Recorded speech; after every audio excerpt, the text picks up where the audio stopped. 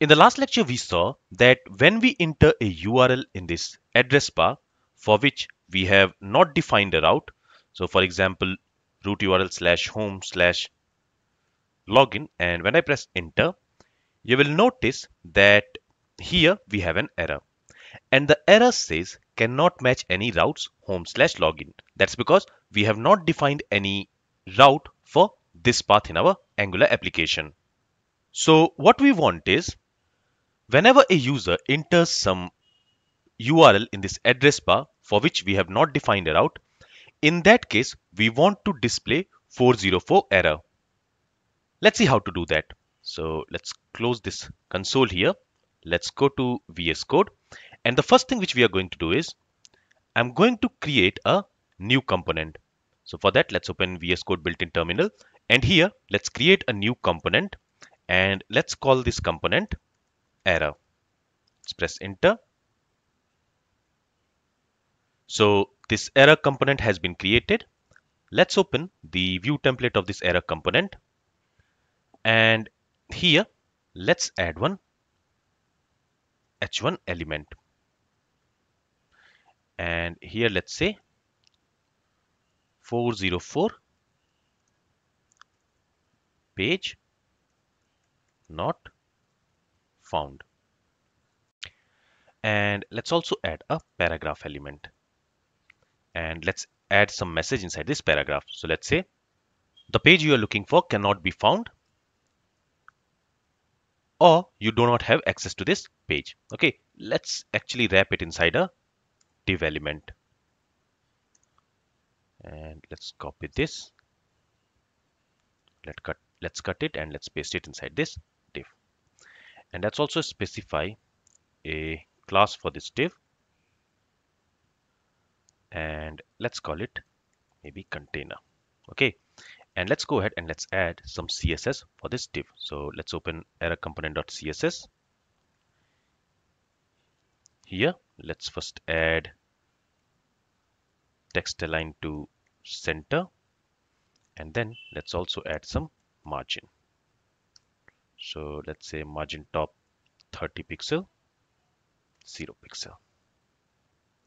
Okay, with this, let's save the changes. So here we have created an error component.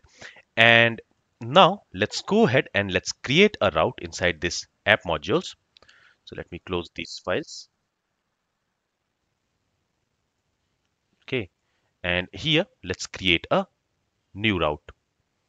So again, let's use object literal syntax and let's specify the path. And here for the path, we are going to use these two asterisk symbols. Okay, and then for the component, let's assign it with the error component. So, error component.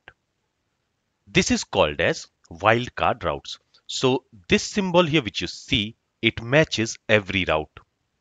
And if the route which the user has entered in the URL bar, in the address bar, if it does not match any of these defined routes, in that case, it will match this route. Okay, so as I mentioned, this symbol here, these two asterisks matches every route.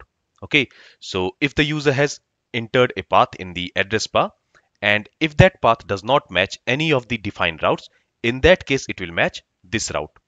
And when it match this route, it will display the view of error component. Let's see that. Let's save the changes. Let's go to the web page. And here, let's enter slash home slash login. Let's press enter. And here you can see now it is displaying this 404 page not found. So it is displaying the view of error component. And if I open developer console, so, and if I go to console tab, you will see that we don't have any error here.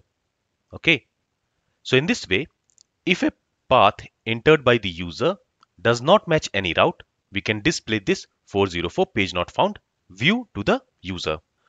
Alright, now the important thing to note here is that the order of the route in which we define it, that matters.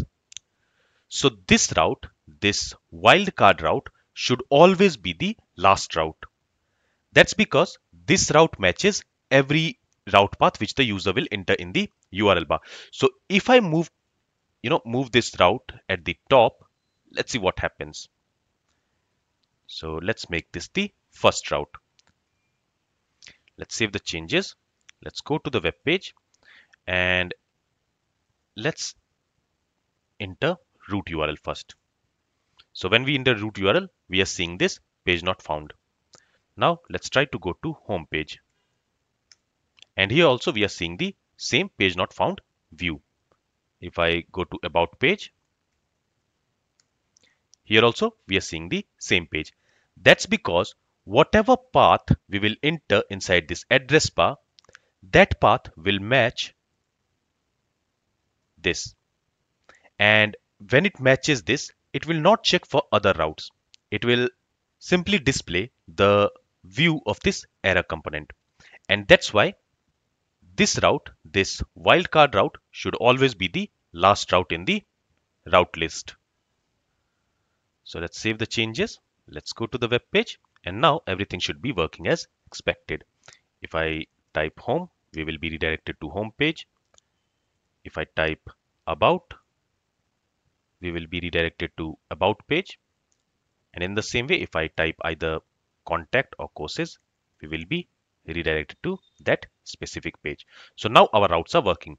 And if I type a route for which, I mean, if I type a path for which we have not defined any route, in that case, we will be redirected to the 404 page not found page. Alright, so our routes are working as expected. Now, the only thing which is left here is to make these links work. So currently these links are not working. If I click on these links, it will only display the home page.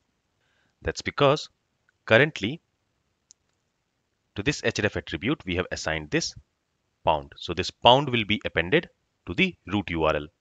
So when the root URL is typed in the address bar, we are displaying the view of home component, right? And that's why every time I click any of these links, it is displaying the view of home component. So in the next lecture, let's make these links work properly. Let's make these links respond to the respective routes.